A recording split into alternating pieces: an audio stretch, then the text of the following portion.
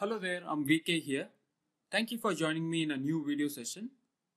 This video will show you how to transfer your tickets from your existing helpdesk application into ServiceDesk Plus. ServiceDesk Plus allows you to import requests from the spreadsheet. Follow the sequence of steps shown in this video to transfer the data. Step 1.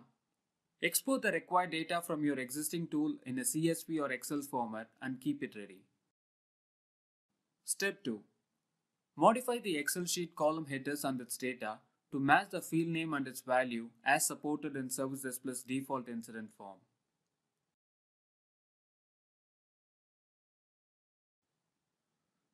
If any of the fields or values are not matching, then create the required fields and values in ServiceDesk Plus and plan the data import.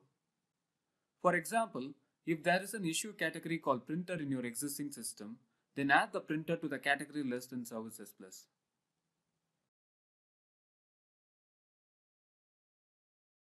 In another example, let's say your existing system has walk-in as request mode type.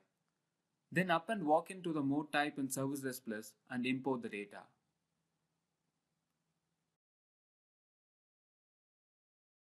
Step 3.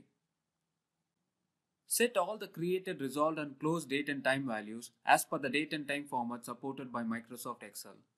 Or you could define it in the displayed format. Step 4. Finally, save the spreadsheet with .xls extension. Step 5. Disable notification settings and survey settings before importing the records. Otherwise, it would trigger unnecessary email notifications to the users.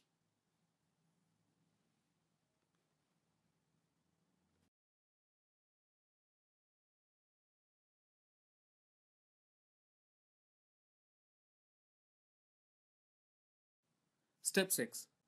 Turn off the request closure rules before importing the records.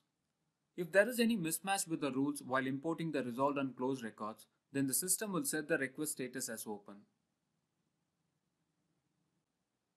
Step 7. It is better to delete or deactivate the default service level agreement rules set in ServiceDesk Plus. If not, the system will set a different due by time to the imported records when it matches its criteria.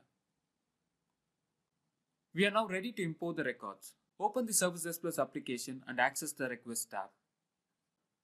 You will find Import Request option under Actions drop-down menu. Choose the Excel file and map the appropriate fields and columns headers.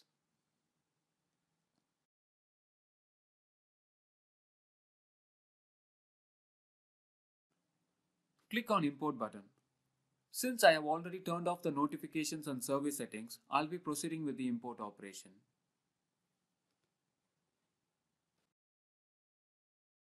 Now we have successfully imported the records. Thank you for watching this video. Stay tuned.